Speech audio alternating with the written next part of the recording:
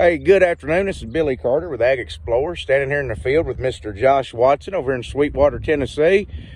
We're looking at his corn here. This will be one of his NCGA spots. Uh, he's been on that national stage the last three years.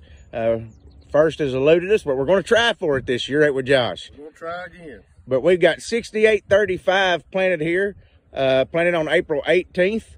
Uh, it's just a picture perfect stand of corn that we have.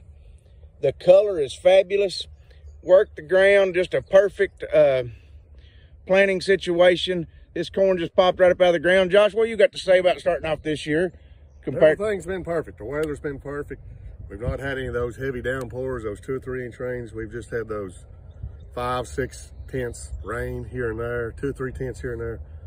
So the corn came up with only three tenths of rain, which I like that instead of a heavy pounder.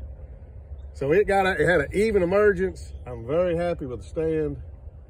Uh, Billy did find a few cut worms right here, but we're gonna have to deal with. But as long as the weather stays, I think we got a good shot at something.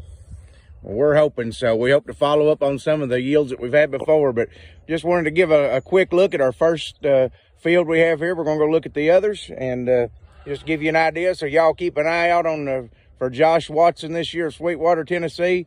And we appreciate him for using AgXplore products. And I sure appreciate him for using the program that I've built for him for the last three years. Hey, y'all have a great day.